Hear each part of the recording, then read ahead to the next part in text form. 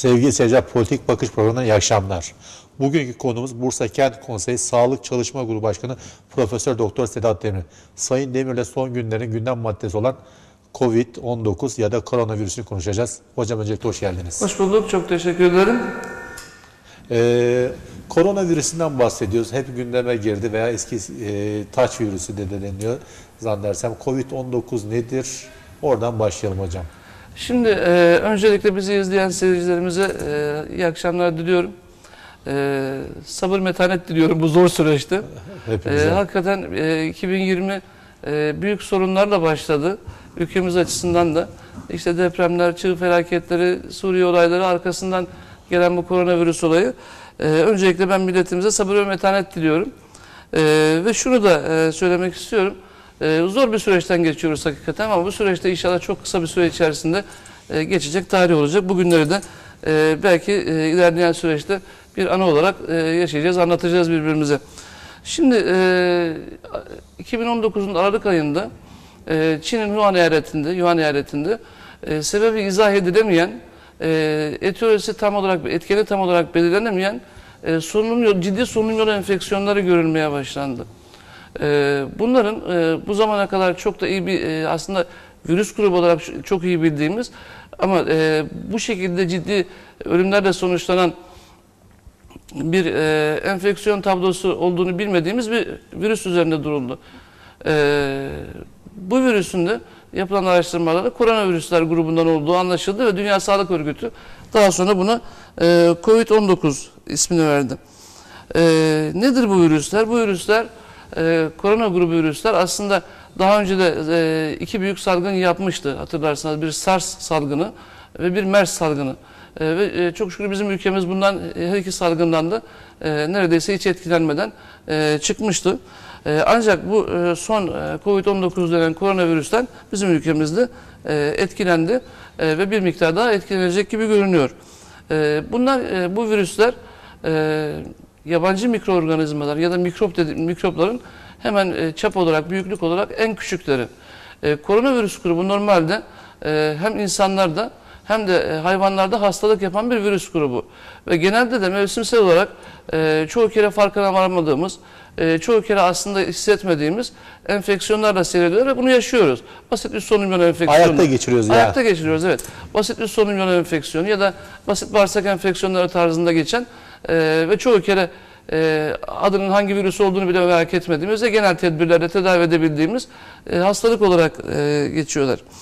E, SARS'ın ilk görüldüğü yıllarda, SARS'ın ilk görüldüğü yıllarda koronavirüslerinin e, bu kadar ciddi enfeksiyonlar yapacağını da aslında e, yeni öğrenmiş olduk.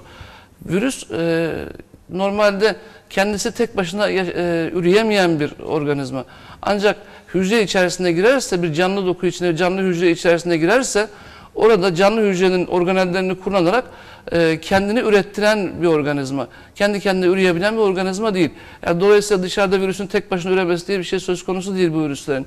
Bunlar ancak canlı organizmanın içerisine girdiğinde üreyebiliyorlar. Ve canlı organizmanın içerisine girmesi için de takım bir takım e, tabii bir takım yolları e, e, kapıları kullanıyorlar. Şimdi e, O kapı dediğiniz sizin tıbbi ifade ACE denilen kapı mı oluyor? Onu da ben en azından zaman zaman televizyonlar duymaya başladık bu arada. İşte bu kapıdan giriliyor diye bazı hocalarımız ifadede bulunuyor. En azından seyircilerimiz bilgilenmesi açısından hocam. Çok kısa anlaşılır bir şekilde ifade edelim o zaman. Ee, vücudumuzun bir bağışıklık sistemi var. Vücudumuzun bağışıklık sistemini yine çok basit ifadesiyle e, bir ülkenin ordusu gibi düşünün, savunma ordusu gibi düşünün, askerleri gibi düşünün. En başta kanımızda bulunan e, ve tam e, genel olarak akyuvar dediğimiz e, lökositlerin e, oluşturduğu bir hücre grubu bu ama bunların da kendi içerisinde alt hücreleri var. Lökosit dediğimiz hücreler ya da akyuvar dediğimiz hücreler çok sayıda farklı hücre grubundan meydana geliyor. Tabii bunların da yabancı mikroorganizmayı e, vücuttan çıkarabilmek ya da onlarla baş edebilmek için geliştirdiği bir takım silahları, antikorları var ya da başka kimyasal medyatörleri, başka maddeleri var. E, normal şartlarda e, bağışıklık sistemi dışarıdan gelecek bütün yabancıları tanımak ve bunları vücut, öncelikle vücudun içerisine sokmamak. Pasaport kontrol diyelim. Tabii yani. öncelikle vücudun içerisine sokmamak ve eğer bir şekilde girmişlerse girdikleri yerde yok etmek üzerine kuruludur. Sistem böyle işler. Bağışıklık sistemimizin bir e, doğal bağışıklık dediğimiz kısmı var. Bir de edinsel bağışıklıkta sonradan kazandığımız bağışıklık kısmı var. Doğal bağışıklık kısmı şu, doğuştan getirdiğimiz belli bir mikroba ya da belli bir e, etkene e, spesifik olmayan bağışıklık sistemi. Örneğin işte doğal bariyerlerimiz var. E, mukozalar, cilt, burun, ağız e, bunlar e, yapıları itibariyle dışarıdan gelen mikropları vücuda sokmamak üzerine programlanmış. E, sağlam bir ciltten bir mikrobun içeriye girmesi mümkün değil. Sağlam bir ağız mukozasından mikrobun içeriye girmesi kolay kolay mümkün değil. Ama bunların içerisinden süzülüp geçirenler de geçtiği yerde bir şekilde bağışıklık sisteminin hücreleri tarafından yok edilirler. Edinsel bağışıklık ya da e, edinsel immünite dediğimiz kısmı da şu. E, bir, bir mikrop bir kere vücuda girdiği zaman, bir enfeksiyon yaptığı zaman bağışıklık sistemi adeta bunun üzerinde eğitilir ve bunu, bu mikrobu artık bir sonraki enfeksiyonda tanır hale gelir. Çok kolay tanır hale gelir. Bu aşı dediğimiz sistem bu oluyor zaten. Tabii aşı dediğimiz sistem bu. Aşıyla ne yapıyoruz? Çok düşük miktarda yani virülansı çok düşük, hastalık yapma kapasitesi çok çok düşük ya da tamamen öldürülmüş mikropları ya da ürünlerini vücuda veriyoruz ve buna karşılık vücudun bir vücudun bağışıklık sisteminin bunu tanımasını sağlıyoruz, Yüz tanıma tanıştırıyoruz. sistemi gibi diyelim Yüz aslında. tanıma sistemi gibi. Şimdi e, virüslerde durum biraz daha farklı. Virüslerde e, virüs hücre içerisinde girebilmek için e, adeta bir yerde hücreyi aldatmak zorunda. Ne yapın? Bunu nasıl aldatacak? Bir e, proteine bağlanmak zorunda. Vücudun bir proteinine bağlanmak zorunda.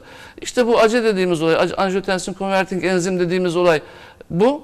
E, koronavirüs e, vücuda girdiğinde e, angiotensin converting enzime bağlanıyor.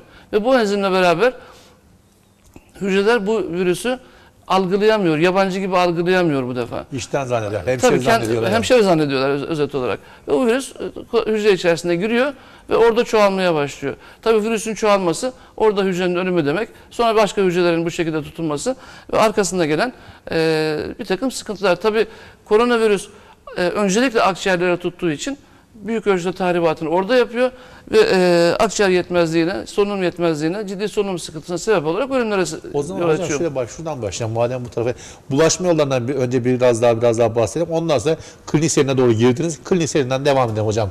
Nasıl olacak en azından vat, e, bizi izleyen değerli seyircilerimiz öğrenmiş olurlar. Şimdi hepimiz de izledik. Çin'deki e, enfeks Çin'de enfeksiyon bulguları başladığı zaman öncelikle bu enfeksiyonun nereden kaynaklandığı konusunda hepimiz izledik. Kimisi yarasa dedi, kimisi farklı işte e, yabani hayvanlardan söyledi. Virüsün öncelikle onlarda olduğu söylendi.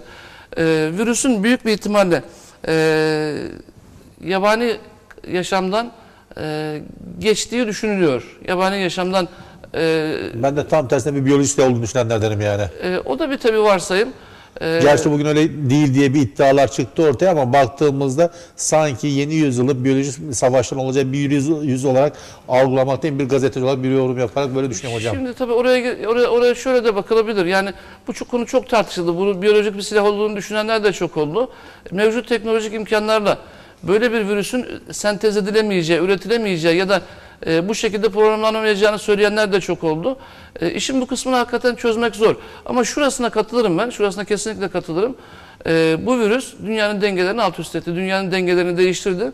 E, ve benim de gördüğüm yeni bir dünya düzeninin kurulmakta olduğu bu Kartlar virüse yeniden kay- e, Kartlar yeniden karıldı. Her şey alt üst oldu. Ekonomiler alt üst oldu. E, ve e, domuz gribi e, olayında e, olayın ne olduğunu ancak 5-6 yıl sonra anlayabildik. Birçok yapılan işin 5-6 yıl sonra ne olduğunu farkına varabildik.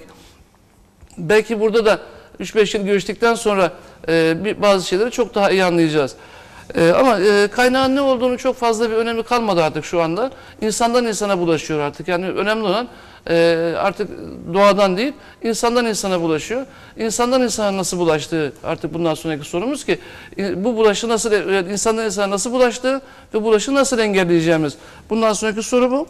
E, Yani aslında ilk önce hayvanlar insana ulaşıyor. Hayvanlar insana ulaştıktan sonra insanlar insana çok hızlı ulaşıyor. Baktığımızda Türkiye değerlerinde bir hafta önce olan 3 olan vaka sonra 7'ye 7'den üstüne itibariyle 190 hadi küsure tabii geometrik diziyle yayılıyor. Yani çok hızlı yayılıyor değil mi hocam yani bu anlamda E, baktığımızda? tabii şu hızlı yayılıyor. Çok hızlı demeyelim, orta hızlı yayılan bir virüs bu. Çok hızlı, çok hızlı daha e, a- agresiftir. Hızlı yayılan bir virüs, hızlı yayılabilen bir virüs. Hızlı, Hızlı yayılan bir virüs. yani. hızlı, yayılan bir virüs. Peki bu hızlı yayılmasının dışında biraz daha baktığımızda klinik seyrini iyi kötü anlattık. Yani şu anlamda baktığımızda tedavi ve başarı şansı nasıl yorumlayacağız bunu ya? Şu- Şimdi e, birçok spekülasyon var, duyuyoruz.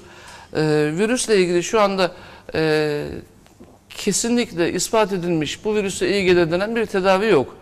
E, tedaviyi anlayabilmek için birazcık daha, e, gerçi korunma kısmında belki onu biraz daha bahsederim ama e, şu anda e, bu virüsü tedavi edebilecek bir ilaç bilinmiyor.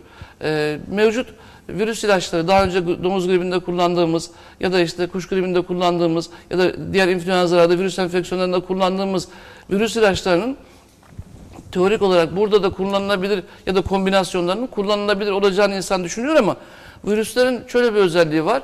Çok hızlı genetik materyallerini değiştirebiliyorlar. Mutasyona uğrayabiliyor. Çok hızlı mutasyona uğruyorlar. Dolayısıyla siz bir virüs geliştirdiğiniz zaman işte grip, gripal enfeksiyonda da aşının her kesime uygulanmasını gereksiz bulmamızın nedeni bu. Biz bir aşıyı geliştirene kadar zaten virüs mutasyona uğramış oluyor ve Yeni virüs çıkıyor. Yeni virüs çıkıyor. Bizim bizim kullanacağımız aşı bir önceki suçlara ait olacak. Eski model olmuş oluyor yani. Eski model olmuş oluyor. Yani artık o aşının çok bir anlamı kalmamış oluyor.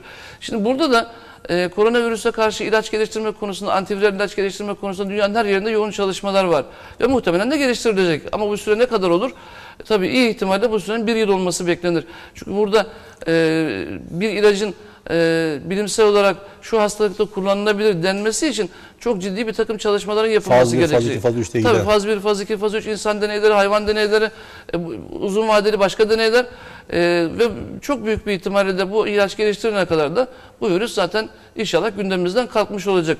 Ama tedavi daha çok e, hastalığa tutulmuş olanlarda destek tedavi, destek ve semptomatik tedavidir. Yani belirtilerin iyileştirilmesi, vücudun virüsle e, çarpışmasına, savaşmasına destek verilmesi tedavileridir ki e, tedavisi yok derken kastımız e, yanlış anlaşılma olmasın. Bu hastalığı tedavi edemiyoruz anlamında değil. Hastalığı e, virüse direkt doğrudan etki eden bir ilacımız yok. Yoksa destek tedavilerle vücudun direncini artıran, hasta, vücudumuzun hastalıkla boğuşmasını, savaşmasını kolaylaştıran birçok tedavi Kombine yöntemi tedaviler var aslında. Var bak. tabii ki. Bunlar başarıyla da yapılıyor. Şimdi aslında bizim birçok enfeksiyonda yaptığımız vücut kendi dengeleri içerisinde bunlarla savaşır. Bağışıklık sistemimiz bunlarla savaşır, enfeksiyonlarla savaşır. Biz bizim yaptığımız şudur. Vücuda destek olmak. Yani vücudun e, bağışıklık sistemini destekleyip e, ya da başka fonksiyonlarını destekleyip e, bu savaşa destek olmaktır. Burada Hocam da bu burada destek şeyi yapılıyor. merak ediyorum mesela ben çok. Şimdi e, koronavirüsü gündemde işte bugün baktığımızda Sayın Sağlık Bakanı'nın her gün 10 bin test yapacağız diye bir açıklaması vardı. Şu an kadar yapılan test sayısı 10 bin. 10 binde 200 vaka var yaklaşık. Resmi açıklanan rakamları söylüyoruz. Sayın Bakanım dediklerine mukabilinde. Çünkü belki o da kendisi ifade artabilir diyor. Çünkü hazırlıklı olmak lazım diyor çünkü. Ama şunu merak ediyorum. Bir kişi farkında olmadan kronik hasta dahi olsa bu virüsü farkında ayakta geçirme ihtimali var mı? Şimdi tabii e, oraya bunu bu- bunu iyi ki sordunuz. Ben bunu, burada şunu da belir- belirtmek istedim. Şimdi korkunç bir panik var toplumda değil mi şu anda? Evet. Ee, Yani şimdi neredeyse tokalaşmadan bırakın yani kendi çocuklarımıza, kendi eşlerimize, kendi yakın akraba 2 metre uzaktan bakıyoruz. Yani bir baktığımız ortam içerisinde sizle de hatta tokalaşırken ilk önce dezenfektasyon yapıyoruz. Bu anlamda tokalaşmaya çalışıyoruz. Baktığımızda belki bu kendi işimize ke- ve eve gittiğimizde hemen çıkar. Kendimizin tabiri caizse çocukluğu ifade öcü gibi görmeye başladık ya da karşıdakinde. Maalesef. Hatta birisi öksürdüğü zaman ben şunu diyorum otobüste veya durakta tuhaf tuhaf bakmaya çalışacağım. Neden maskesi yok? Neden bu öksürüyor diye kendi kendimi soyutlamaya çalışıyorum ya da o benden soyutlamaya çalışıyor diye düşünüyorum hocam. Şimdi e, toplumda hakikaten e, şu anda artık belki paranoya düzeyine yaklaşmış, belki e, Korona diyelim ona aslında. yani, e, korku düzeyini çoktan geçmiş bir e, reaksiyon var. E, haksız mı insanlar? Haklılar. E, korkuyorlar. E, niye korkuyoruz? İnsan bilmediği şeyden çok korkar. Gözümüzde görmediğimiz bir virüs var ortada. Daha önce hastalık e, yaptığı hastalığı bilmediğimiz, nasıl hastalık yaptığını bilmediğimiz, seyrini bilmediğimiz bir virüs var ortada. Ve çok küçük bir virüs var ortada. Henüz e, şu an için tanı kitlerimiz çok yeterli ama tanısında henüz daha e, zorluklar yaşadığımız bir virüs var. Ve tabii e, birazdan inşallah ben girmek isterim e, bu konuya. E, korkunç bir algı operasyonu var, korkunç bir e, bilgi kirliliği var, dezenformasyon var. Korkuyoruz yani herkes korkuyor. Şimdi şundan korkuyoruz. Yolda giderken İlhan Bey benim elime dokunur. O da bir yerde virüsü almıştır. Ben de alırım virüsü. Ertesi gün de ölürüm korkusu var. E, böyle bir şey yok.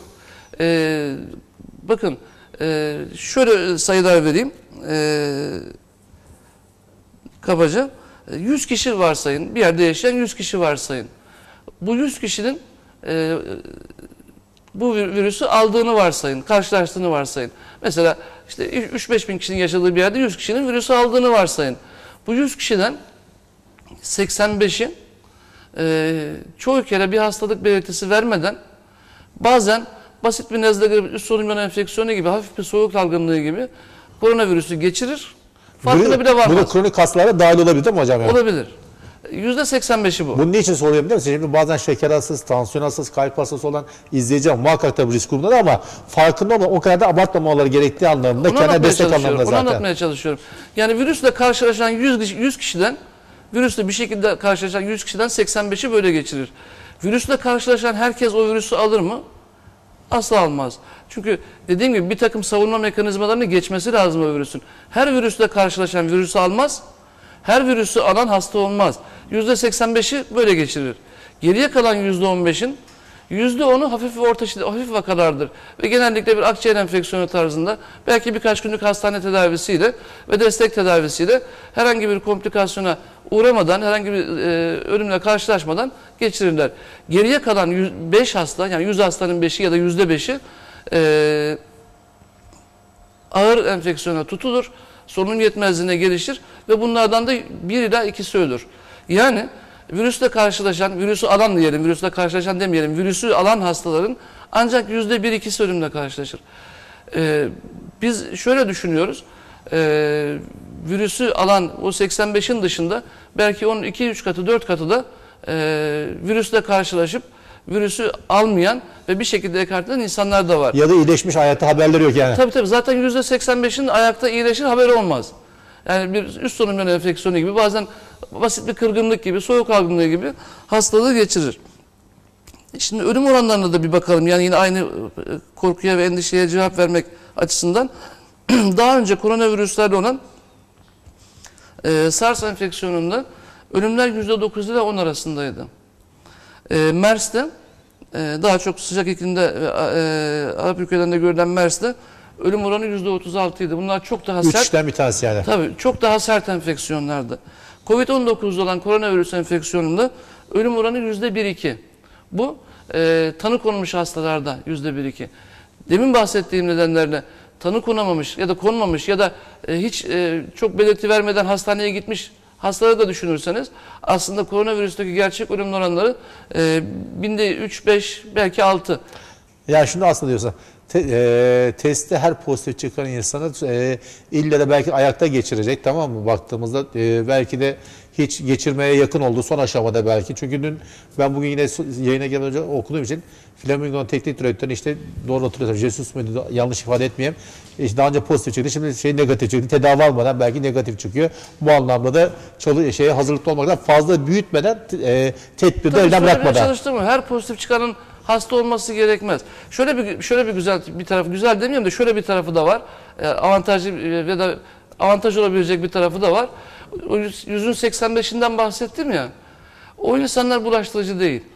Virüsü e, virüsü taşıdığı halde, virüsü aldığı ve taşıdığı halde bir başkasına bulaştırma ihtimali çok düşük onların.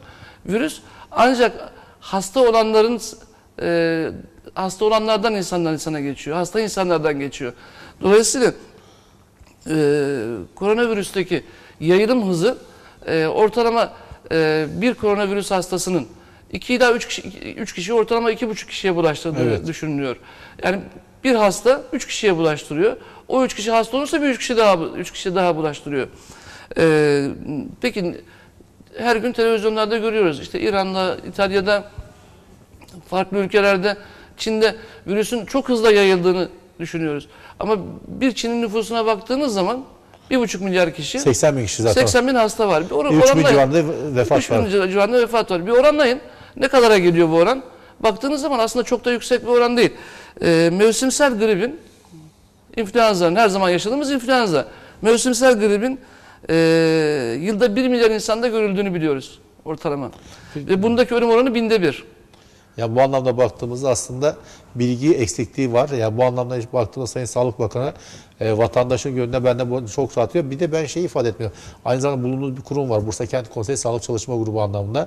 E, önleyici tırnak içerisinde doğru ifade kullanıyorum belki yanlış Doğru. varsa da önleyici tedavi noktası, önleyicilik anlamında insanlara ve Bursalılara neler yapmak lazım bu anlamda bu konuda biraz Tabii. bilgilendirirsiniz.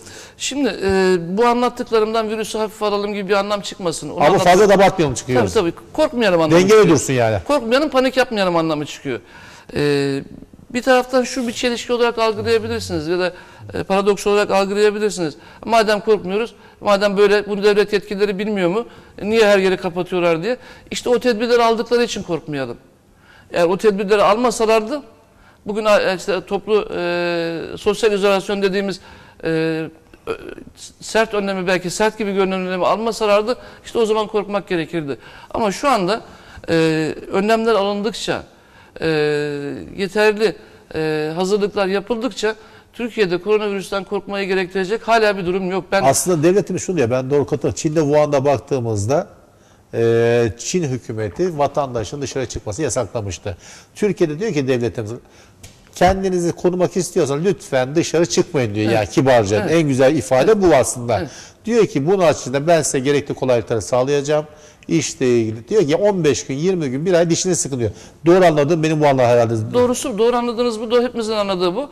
Ee, şimdi Çin Çin e, bütün dünya için aslında bu iyi örnek diye söylemek belki doğru değil ama bir örnek oldu. Çin'de İlk yaşanan modelleme orada çünkü. Tabii ilk modelleme orada. Ee, şimdi bakın Avrupa ülkelerine ve Türkiye'ye bakın. İtalya tedbir almakta çok geç kaldı. Almanya, Fransa çok geç kaldı. Bunlar virüsü ciddiye almadılar. İran çok geç kaldı. Ama Türkiye çok önceden e, bir de bizim alınan bu tedbirlerle e, virüsün Türkiye'ye girişi 2-2,5 ay geciktirilebildi. Ve bu 2-2,5 aylık süre içerisinde gerekli tedbirler alındı. E, alınan bu tedbirlerle virüsün e, Türkiye'de ben bu ölçüde yani bir e, İtalya ölçüsünde e, salgın yapacağına e, çok fazla inanmıyorum. Matematiksel rakamlarla karşılaştırıyorlar. İşte İtalya'da şu kadar, ilk hafta bu kadar olmuş, e, ikinci hafta bu kadar olmuş. Hiçbir ülke diğerinin aynı örneği değil. E, tedbirler zamanında ve yeterince alındı. E, korkmuyoruz. Niye korkmuyoruz? Tedbir aldığımız için korkmuyoruz. Devlet bir taraftan tedbir aldı ama bir taraftan biz de tedbirlerimizi Ama almak şunu durumundayız. unutmamak lazım. Biz de zaman zaman sosyal medyada şu ifade efendim Türkiye bir şey olmaz mantığı.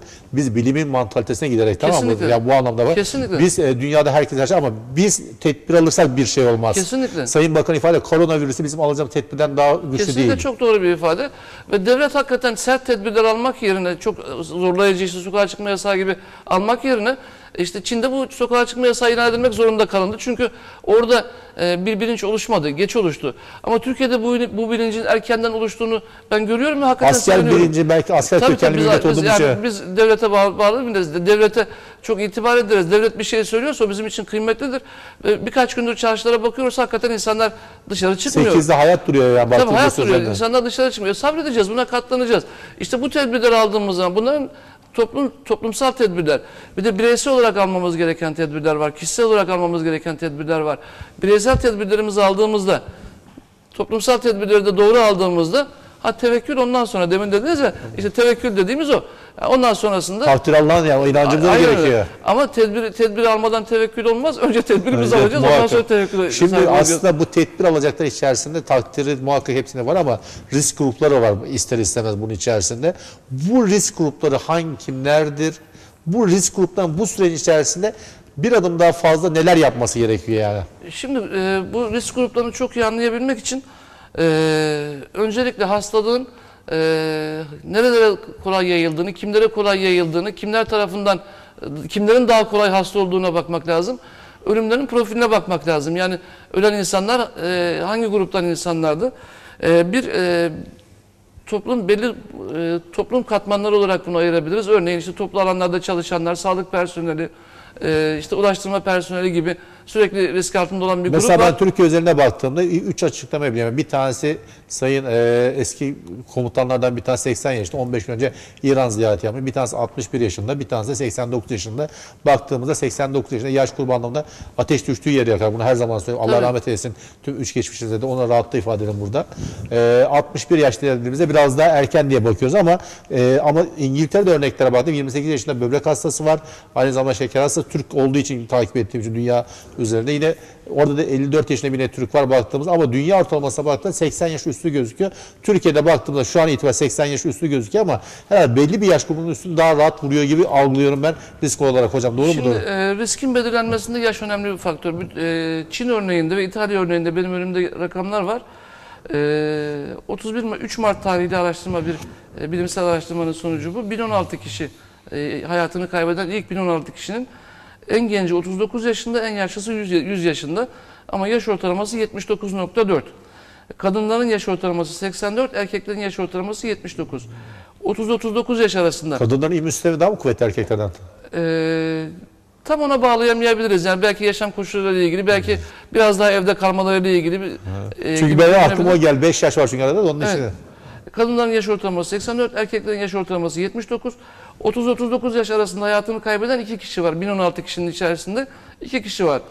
Ee, ve yaşla, yaş ilerledikçe e, ölümlerin büyük ölçüde 65 yaşın üzerinde yoğunlaştı ve 70 yaşın üzerinde yoğunlaştığı e, görülüyor.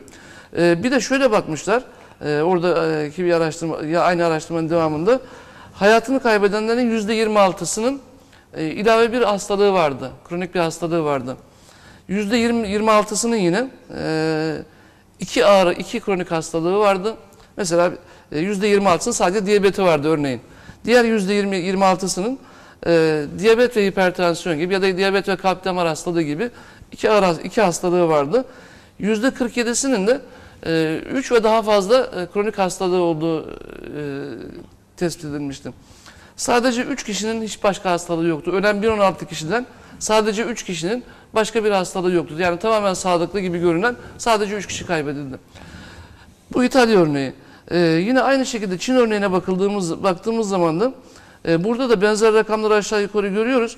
Ee, %25 oranında aşağı yukarı e, tek komorbid hastalık, e, kronik hastalık bir o kadar iki kronik hastalık gerisi üç kronik hastalık gibi görünüyor. İtalya ve e, Çin örneğinden baktığımız zaman da e, hangi hastalıklardı bunlar diye baktığımız zaman yani bu kronik hastalıklar hangisiydi? Koronavirüsle karşılaştığı hasta olduğunda ölümü kolaylaştıran ya da prognozu kötüleştiren hangi hastalar diye, hastalıklar diye baktığımız zaman da bunların ilk sırasında e, kalp damar hastalıklarının geldiğini görüyoruz. Kalp damar. Beyin, da, beyin damar ve kalp damar hastalıkları yani özellikle damar hastalıklarının geldiğini görüyoruz. İşte iskemik kalp hastalıkları olan kalp, e, e, Kalp yetersizlikleri. e, yok koroner kalp hastalıkları, kalp Evet. yetersizliği değil, koroner kalp hastalıkları ya da beyin damar hastalıkları işte inme geçirmiş, felç geçirmiş Ya hastalar, hastalar gibi. Bundan sonraki ikinci büyük grubun yüksek tansiyon hastaları olduğunu görüyoruz. Çin ve İtalya Yüksek örneği. tansiyon neden etkiliyor? Onda isterseniz reklamlara girelim. Reklamlardan sonra devam edelim Olur, hocam. orada ya- yani yüksek tansiyonla bunun arasındaki bağlantı nedir? Niye yüksek tansiyon hastası daha kolay etkileniyor? Onu özellikle Bir anlatalım. Bir reklamlara girelim hocam. Reklamlardan sonra kaldığımız yerden devam edelim. Müsaade ederseniz eğer. Tabii. Sevgili seyirciler kısa bir reklam asıyoruz. Reklamlardan sonra Sayın Sedat Demir hocamla sohbetimize kaldığımız yerden devam edeceğiz.